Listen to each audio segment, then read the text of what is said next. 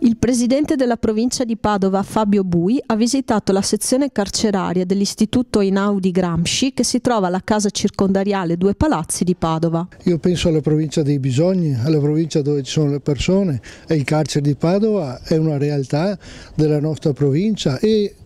ho deciso per la seconda volta, la seconda volta in verità che vengo, di andare a visitare la nostra scuola, l'Einaudi Gramsci, che qui ha 59 studenti e ho detto la provincia ci deve essere, il presidente deve venire a visitare anche queste realtà. E allora oggi assieme alla preside, assieme al provveditore faremo una visita agli studenti, ai professori e al carcere di Padova.